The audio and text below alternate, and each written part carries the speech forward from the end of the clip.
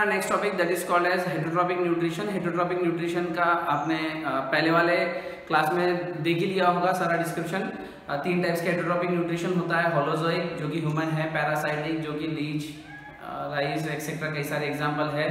Third type saprophytic mushroom हो गया bread modes हो गया एक्सेट्रा उसके कई सारे एग्जाम्पल्स है. तो अब हम देखेंगे हेट्रोट्रॉपिक न्यूट्रिशन को थोड़ा सा डिस्क्राइब करेंगे. तो उसमें सबसे पहला पॉइंट है how do organism obtain their nutrition organism अपना न्यूट्रिशन कैसे ऑप्टेन करते हैं? तो इस वाले टॉपिक में दो एग्जांपल्स दिए गए एक दिया गया है अमीबा का और दूसरा एग्जांपल दिया गया है पैरामीशियम का। पैरामीशियम और अमीबा में दोनों में कॉमन क्या है कि दोनों भी यूनिसेलुलर ऑर्गेनिज्म है। Both are unicellular organism right तो अब ये यूनिसेलुलर ऑर्गेनिज्म है तो ये ऑप्टेन कैसे करता है अपना न्यूट्रिशन तो इसको हम देखेंगे। तो amoeba we do not have amoeba का कोई डेफिनेट शेप नहीं है, जबकि पैरामीशियम का बहुत ही डेफिनेट शेप होता है, आप सभी को मालूम होगा। ये वाला जो पार्ट होता है, इसको कहेंगे माउथ पार्ट ओके अब अमीबा जो है, उसके पास क्या होता है? इट कंटेन्स सूडोपोडिया है ना? इसके जो होते हैं पार्ट क्या होते हैं? सूडोपोडिया अब ये सूडोपोडिया क्या करते हैं? ये एक्सटेंशन पहले तो सबसे पहले सूडोपोडिया का मतलब समझ लीजिए। Pseudopodia means these are the extension of cell surface. Cell surface का एक्सटेंशन पार्ट होता है सुडोपोडिया ओके अब ये क्या करता है? जैसे इसके पास फ़ूड मॉलिक्यूल कोई आता है फ़ूड पार्ट कोई आता है तो ये क्या करेगा? अमीबा जो है अमीबा जो है, वो क्या करेगा? अपने एक्सटेंशन जो है वो बढ़ाएगा और आगे बढ़ाता है। और ये फ़ूड मॉलिक्यूल वहाँ पे आ जाता है। फिर ये क्या करता है? फ़ूड मॉलिक्यूल को पूरी तरह से कैप्चर कर लेता है।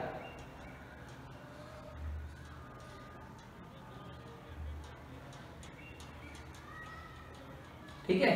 तो इस तरीके से फ़ूड मॉलिक्यूल को पूरी तरह से कैप्चर कर लेता है।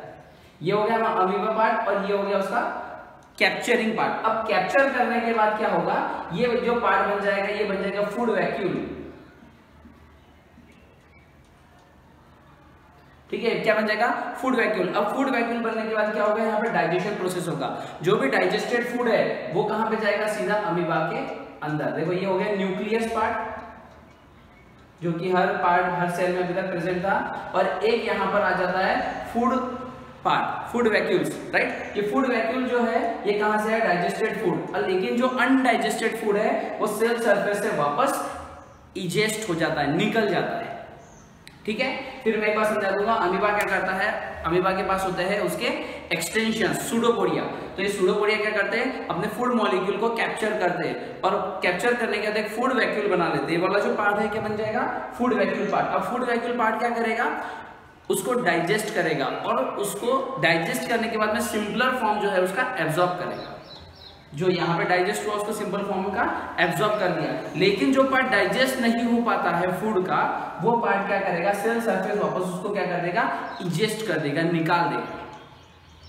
ठीक है? तो इस तरीके से अमीबा जो है वो अपना न्यूट्रिशन लेता है।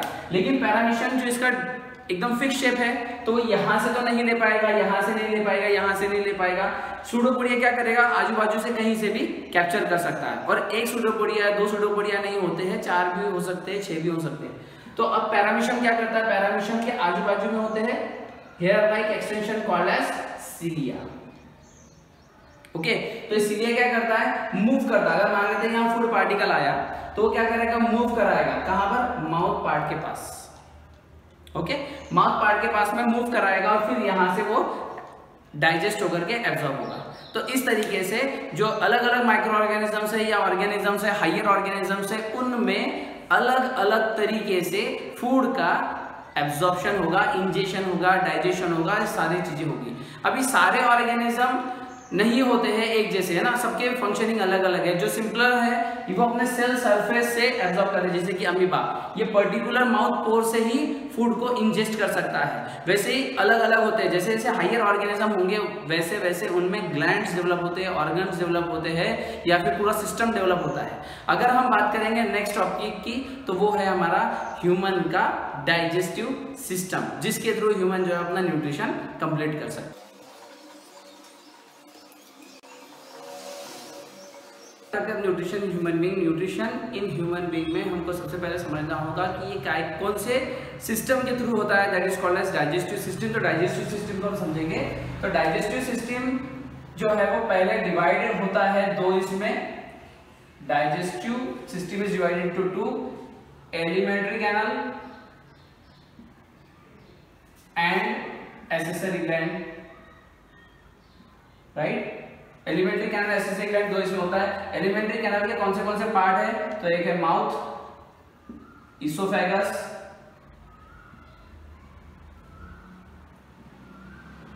stomach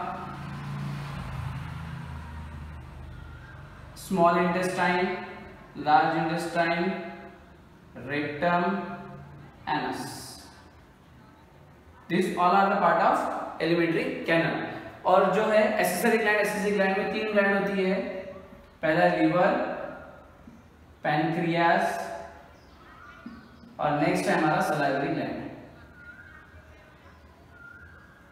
ठीक है?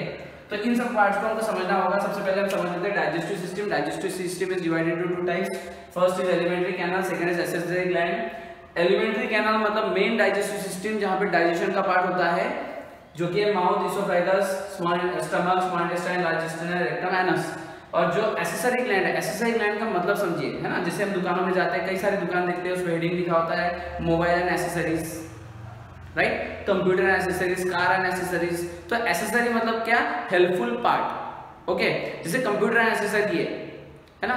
तो कंप्यूटर एसेसरी में अगर हम कंप्यूटर का कोई कवर लेते हैं तो वो क्या आएगा? एसेसरी मोबाइल का कवर लेते हैं स्क्रीन गार्ड लेते हैं। तो स्क्रीन गार्ड क्या है? एसेसरी मतलब हेल्पफुल पार्ट ओके तो एसेसरी ग्लैंड का मतलब क्या होगा? Helpful part which is help which helps in digestion तो तीन ग्लैंड है यहाँ पर liver the largest gland pancreas और सलाइवरी ग्लैंड इसको हम आगे डिटेल में देखते हैं। तो सबसे पहले हम देखते हैं एलिमेंट्री कैनल एलिमेंट्री कैनल में सबसे पहले दिया है पार्ट दिया है माउथ ओके तो माउथ देख लेते हैं, पूरा पार्ट तो स्टार्ट करते हैं माउथ ओके माउथ माउथ के लिए समझना है तो सबसे, अब माउथ में तीन चीज़ें बहुत इंपॉर्टेंट है ओके माउथ में होता है तीत टंग और सलाइवा ओके सलाइवा का सलाइवा ग्लैंड हम आगे पढ़ेंगे लेकिन माउथ में तीन पार्ट हमको याद रखने के लिए है तीत टंग सलाइवा तीत क्या करेगा? तो जो बड़े बड़े फ़ूड के मॉलिक्यूल है, उसको छोटे छोटे फ़ूड के मॉलिक्यूल में कन्वर्ट करने का काम किसका है? तीत का.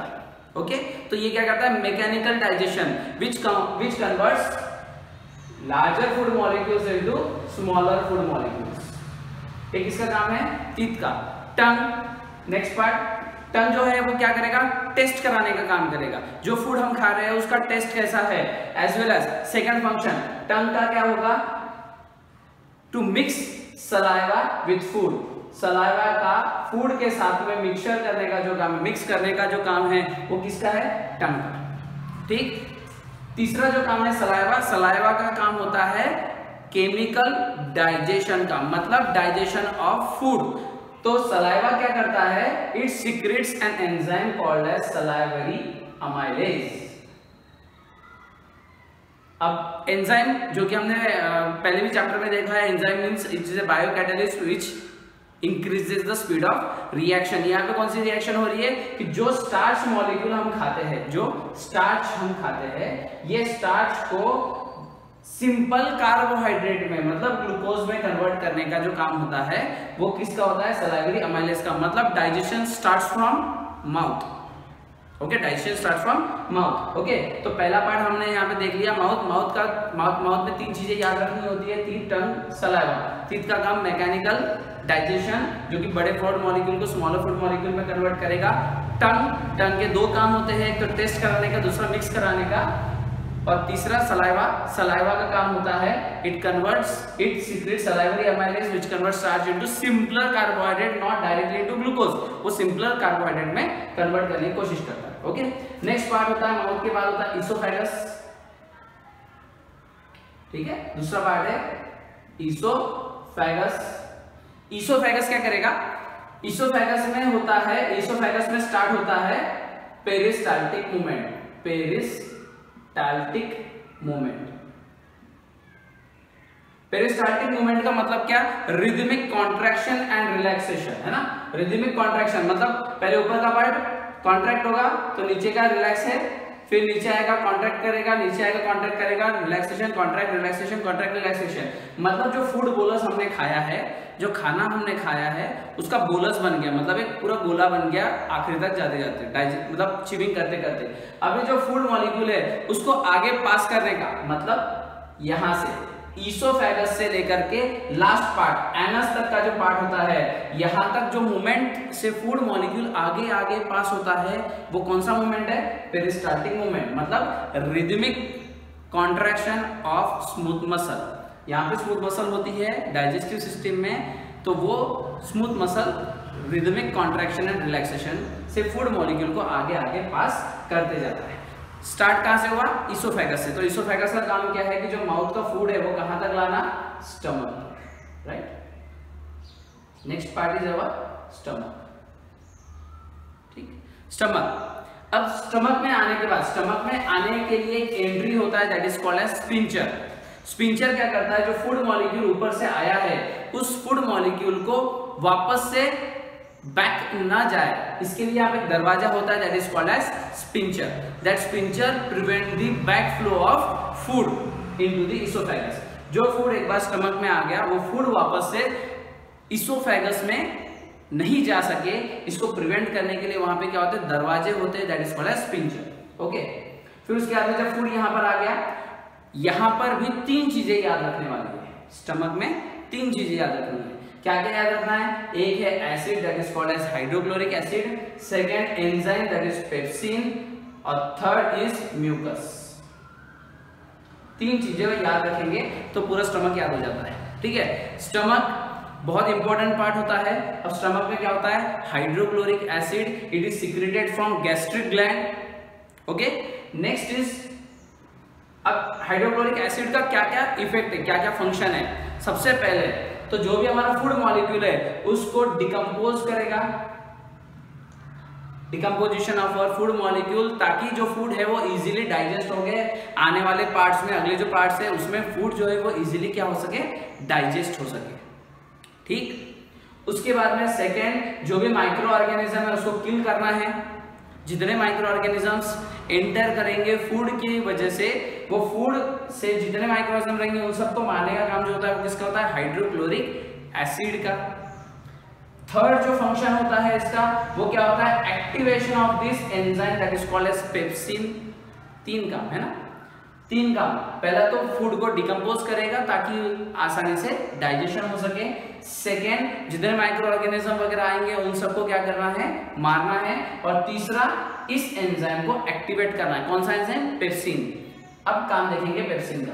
पेप्सिन क्या काम करता है? It digest protein it digest protein into simpler form that is called as amino acids that is amino acids ठीक है? तो सिंपलर फॉर्म में कन्वर्ट कर रहा है।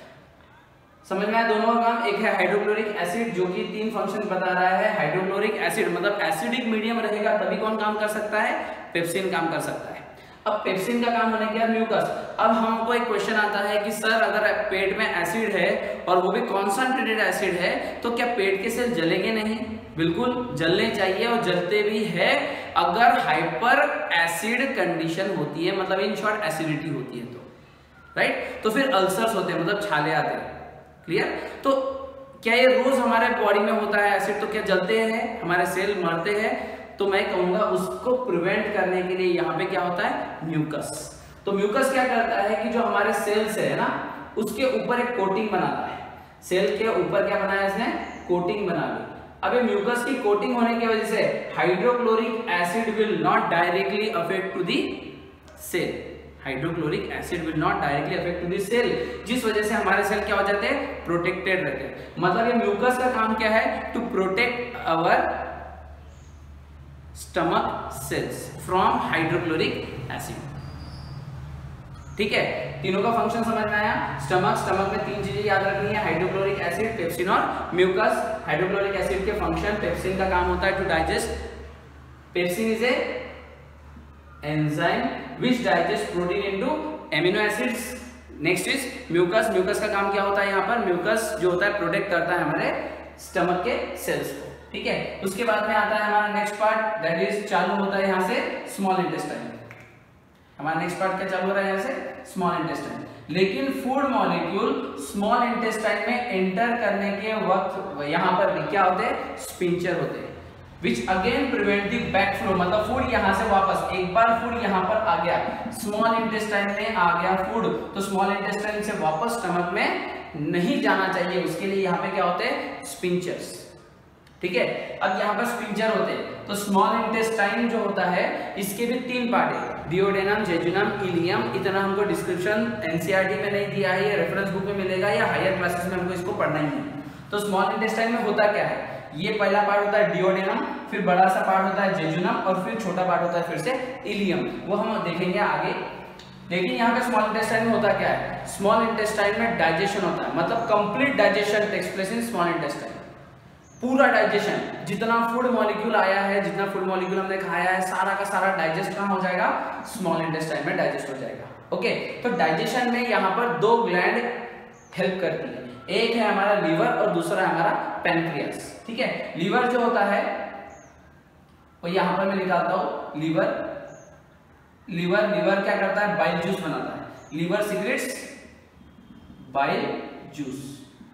Liver क्या बना रहा है? Bile juice. वो क्या करता है? स्टोर करता है। अपना बाइल जूस कहाँ स्टोर होता है? गॉल ब्लैडर में। कहा? गॉल ब्लैडर और यहाँ से डक निकलता है। ठीक है? वहाँ से डक निकलता है। मतलब बाइल जूस जो है, वो इस डक से, इस डक्ट से कहाँ पर आता है? स्मॉल इंटेस्टाइन में। लेकिन आते आते इसको एक और जंक्शन लगता है, जो कि होता है यहाँ पे पैनक्रियास ये है pancreas pancreas is present at the junction of stomach and small intestine अब यहाँ पे पैनक्रियास होता है। पैनक्रियास क्या करता है? एक जूस बनाता है। पैनक्रियास एक तो समझ लीजिए पैनक्रियास जो है एंडोक्राइन ग्लैंड भी है और एक्सोक्राइन ग्लैंड भी है। ये एंडोक्राइन ग्लैंड क्या है और एक्सोक्राइन ग्लैंड क्या है, अपन आगे कंट्रोल एंड कोऑर्डिनेशन चैप्टर में देखेंगे। लेकिन अब इसको हम समझ लेते हैं यहाँ पे पैनक्रियास पैनक्रियास क्या करता है? जूस सिक्रेट करता है that is called as pancreatic juice pancreatic juice pancreatic juice के अंदर एंजाइम्स होते हैं ओके कौन से कौन से एंजाइम्स होते हैं? एक होता है अमाइलेज एक होता है लाइपेज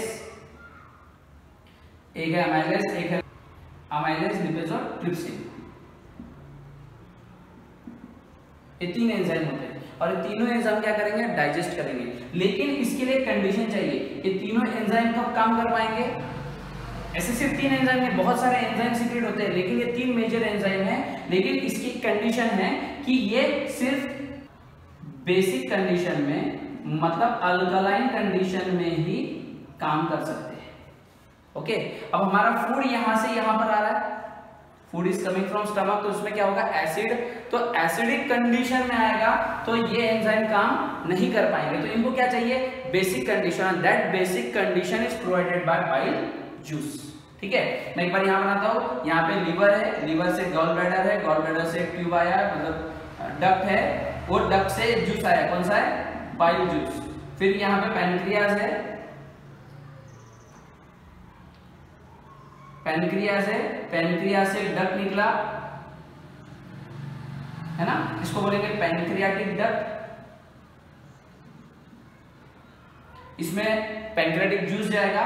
और ये जो है, ये काय में एंटर करेगा भी स्मॉल इंटेस्टाइन में। देखो, दोनों जूसेस एक साथ मिक्स होकर के कहाँ पे जा रहे हैं स्मॉल इंटेस्टाइन में। अब ध्यान देने वाली बात क्या है कि पैनक्रियाटिक जूस को काम करने के लिए कौन सा एनवायरमेंट चाहिए होता है? Alkaline environment and that alkaline environment is given by bile juice ठीक है? तो फिर क्वेश्चन आता है bile juice do not have any enzyme bile juice do not have any enzyme how it helps in digestion तो उसका answer क्या रहना चाहिए अभी कि बाइल जूस के अंदर एंजाइम तो नहीं है but it provides the environment for for the pancreatic enzymes to work bile juice gives alkaline environment for working of these enzymes okay इसके साथ साथ में बाइल जूस का और एक काम होता है कि बाइल जूस के अंदर होते हैं बाइल सॉल्ट बाइल जूस के अंदर होते हैं बाइल सॉल्ट अब बाइल सॉल्ट क्या करेंगे दैट मेक्स इमल्सिफिकेशन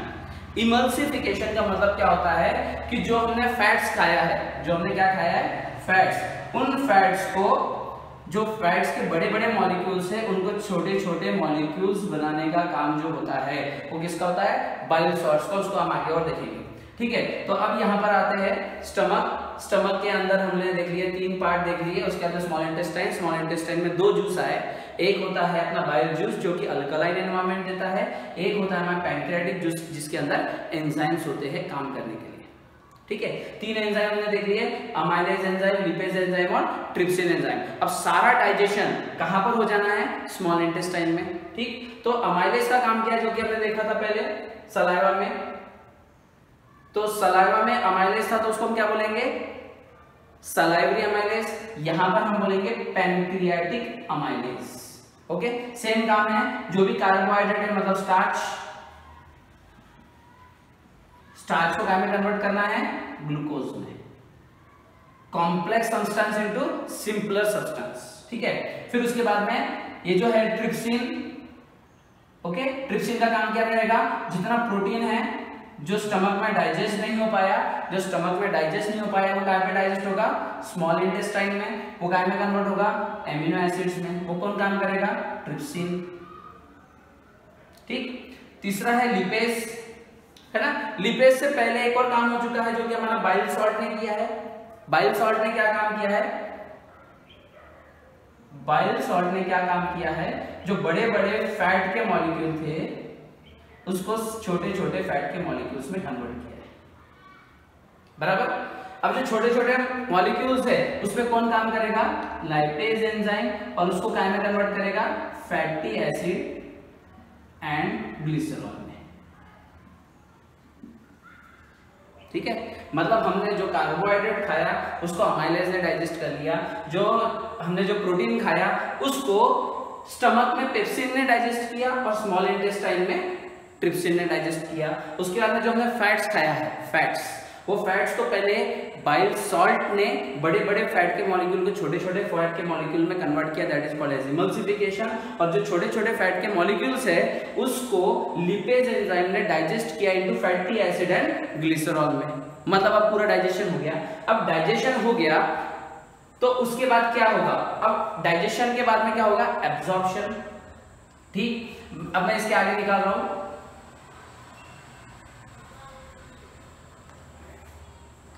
अब स्मॉल इंटेस्टाइन में सारा डाइजेस्ट हो गया। ठीक है?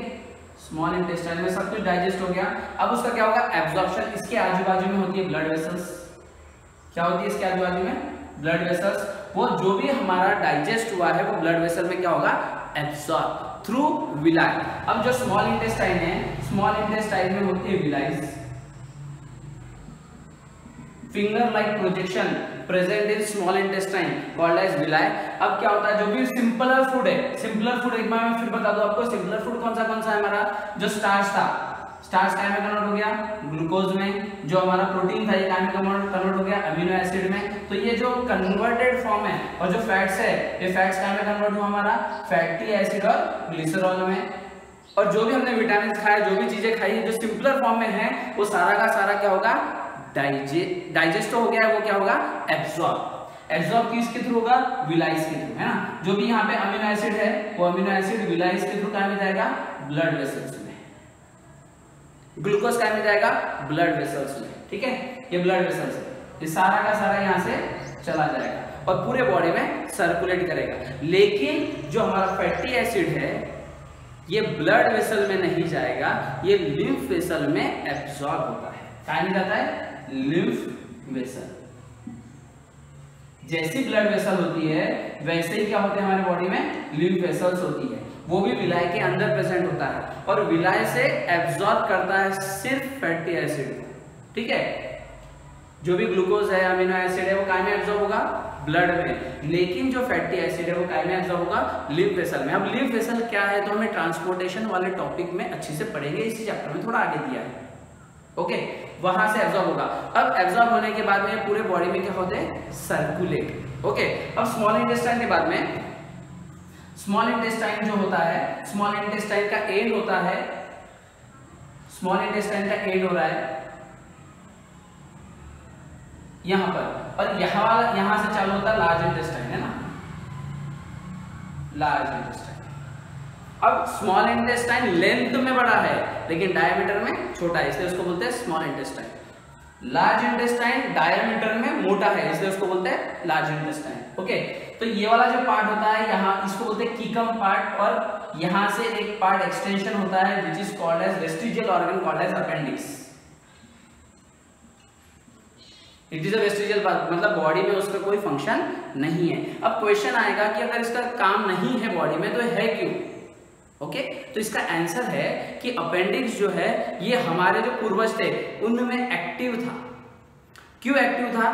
क्योंकि वो लोग रॉ फ़ूड खाते थे मतलब कच्चा जो है, अनाज वो खाते थे। हमने एक पार्ट पढ़ा है कि प्लांट की सेल काय की बनी है?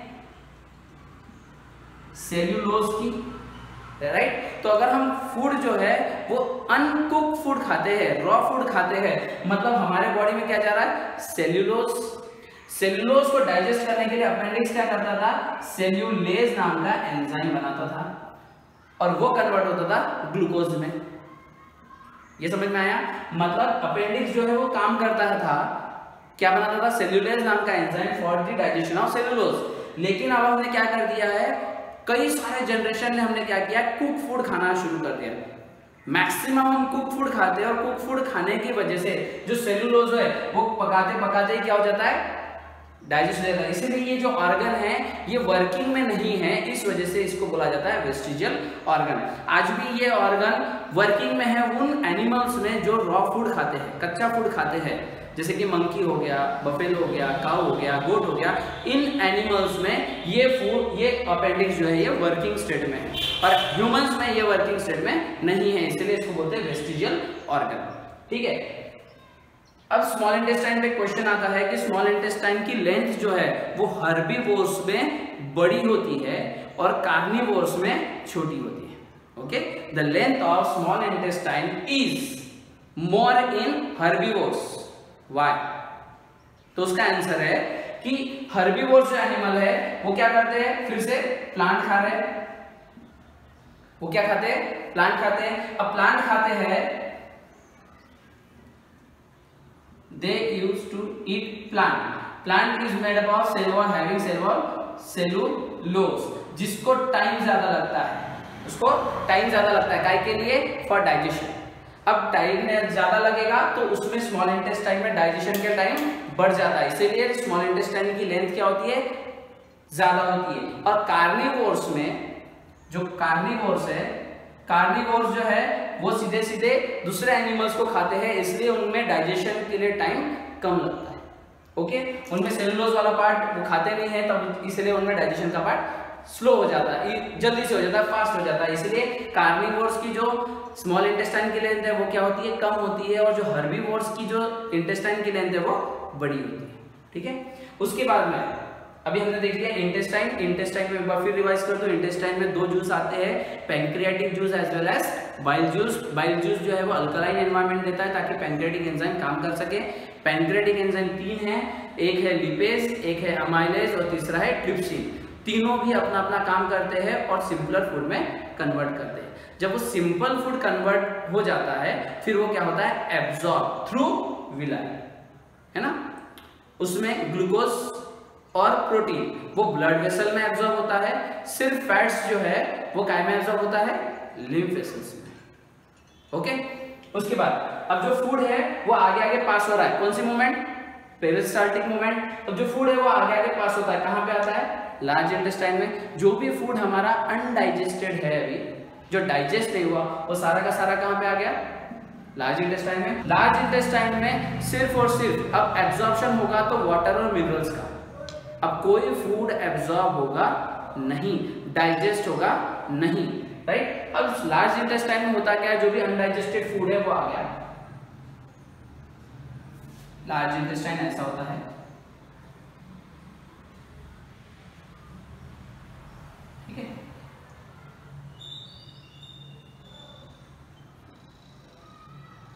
लार्ज इंटेस्टाइन जो भी फ़ूड है हमारा वो यहाँ पर आ गया।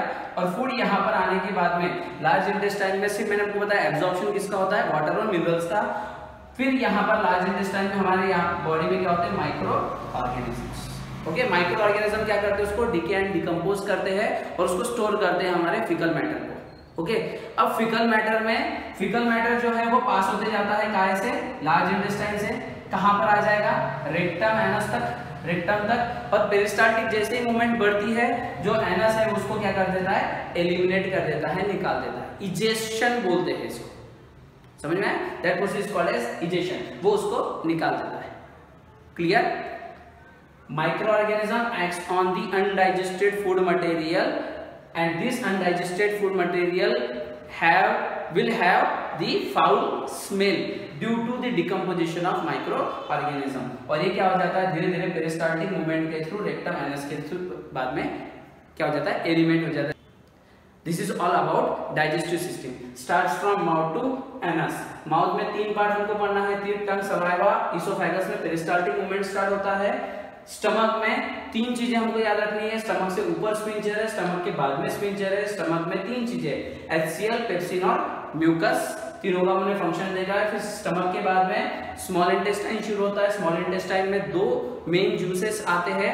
पहला जूस होता है हमारा बाइल जूस दूसरा जूस होता है पेंक्रेटिक जूस जो आपने देख लिया है। तीसरा और एक जूस बनता है, जिसको बोलते हैं इंटेस्टिनल जूस जो कि अदर चीज़ों को डाइजेस्ट करने में हेल्प करता है। फिर इंटेस्टाइन स्मॉल इंटेस्टाइन से वो जूस वगैरह बन के पूरा डाइजेस्ट होके एब्जॉर्ब हो गया एब्जॉर्ब होके ब्लड में गया और ल्यूक वेसल में गया। फिर जो अनडाइजेस्टेड फ़ूड है, वो कहाँ पर आ जाता है? लार्ज इंटेस्टाइन में, जहाँ पे वाटर और मिनरल का एब्जॉर्प्शन होता है। और फिर जाकर के उसमें माइक्रोऑर्गेनिज्म वगैरह काम करते हैं, उसका फिकल मैटर बन गए फिकल मैटर जो है वो क्या हो जाता है? इजेस्ट हो जाता है बॉडी से। ठीक है? अब हमने एसेसरी ग्लैंड्स भी देख ली, साथ में बाइल लीवर भी देख लिया और पैंक्रियास भी दिया। Liver secretes bile juice whereas store in gallbladder, store only in gallbladder. और उसके बाद में पैंक्रियास पैंक्रियास पैंक्रियास क्या बनाता है पैंक्रियाटिक जूस एक और हमारा एसिसाई ग्लैंड है, हमारा सलाइवरी ग्लैंड सलाइवरी ग्लैंड का काम क्या है? सलाइवा सिक्रेट करना माउथ में सलाइवा सिक्रेट करना. ठीक है? तीनों भी देख लिया. हमने एलिमेंट्री कैनल और यहाँ पे एसिसाई ग्लैंड दोनों का भी फ़ंक्शन पढ़ लिया है. इस तरीके से न्यूट्रिशन होता है ह्यूमन बींग्स में. अब हम देखेंगे डेंटल केरीज है ना? डेंटल केरीज बहुत छोटा टॉपिक दिया है। अब एक छोटे से टॉपिक में क्या बताया गया है कि डेंटल केरीज के साथ प्लेग कैसा बनता है? मतलब दांत में कीड़ा कैसा लगता है? तो एकदम सिंपल है।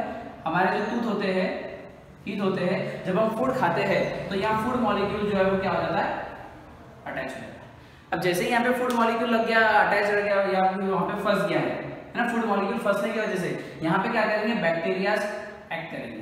कौन काम कर रहा है? बैक्टीरिया और बैक्टीरिया क्या करते हैं? उसको डिकम्पोज करते हैं। अब जैसे मैंने आपको लार्ज इंटेस्टाइन में बताया कि डिकम्पोज करने की वजह से फाउल स्मेल आता है तो यहाँ पर भी आप ध्यान दोगे, सुबह जब हम उठते हैं तो फाउल स्मेल आता है। फाउल स्मेल काय की वजह से है कि बैक्टीरिया जो उसको डिकम्पोज कर रहा है। डिकम्पोज करने के बाद यहाँ पे क्या सीक्रेट होता है? एसिड क्या सीक्रेट हो रहा है एसिड और एसिड सीक्रेट होने की वजह से जो टूथ की जो बड़ी हार्ड लेयर होती है, बाहर की लेयर होती है, हम जिसको बोलते हैं enamel enamel is the hardest layer तो ये हार्ड जो लेयर है, वो क्या होती है? डीमिनरलाइज्ड डीमिनरलाइज्ड का मतलब क्या होता है यहाँ पे? डीमिनरलाइज्ड का मतलब मिनरल्स निकलना. जब एसिड यहाँ बन रहा है तो एसिड क्या करेगा? टूथ पे इनेमल पे काम करेगा और वहाँ के जो भी आयंस है, उसको निकालते रहेगा. यहाँ से रिमूव करेगा. और रिमूव करने की वजह से यहाँ पर क्या हो जाएगा? फिर यहाँ पे बैक्टीरिया जमा होते जाएगा, जिसको हम बोलेंगे बैक्टीरिया प्लेग और जिसको हम बोलेंगे कीड़न लगना राइट तो अब यहाँ पे टूथपेस्ट का काम क्या होता है? टूथपेस्ट क्या करता है? टूथपेस्ट क्या होता है यहाँ पे बेसिक नेचर का और अल्कलाइन नेचर का। तो ये क्या करेगा? It will neutralise the acid जिसकी वजह से डीमिनरलाइजेशन प्रोसेस नहीं होगा। क्लियर यहाँ पर जो हमारा माउथ है, ये बचने के लिए भी सलाइवा भी सेम काम करता है। सलाइवा क्या करता है? न्यूट्रलाइजेस दी एसिड लेकिन क्या होगा एक बार यहाँ पर प्लेग लग गया तो प्लेग लगने के बाद में बैक्टीरिया यहाँ पर जम जाएगा और जमने की वजह से नीचे नीचे वो काम करते जाएगा। मतलब किरण जो है वो बढ़ती जाएगी। नीचे नीचे अंदर डीप होते जाएगी। क्लियर क्यों हो रहा है? क्योंकि हमारा सलाइवा यहाँ तक नहीं पहुँच पाता है नॉर्मली इसलिए ये थोड़ा सा डीप होते जाता है। That is called as dental caries generally इसका जो पीएच है मतलब जो एसिड है, वो 5.5 से नीचे होना शुरू हो जाता है।